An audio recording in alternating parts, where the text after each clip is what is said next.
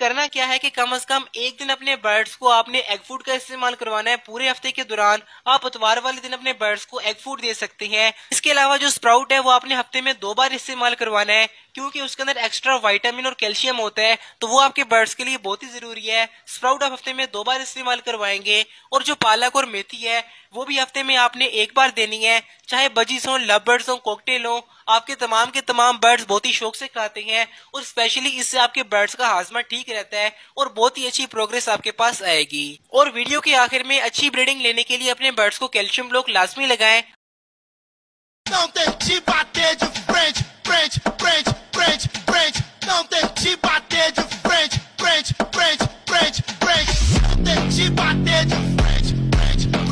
French, French, that G by French, French, French, French, French.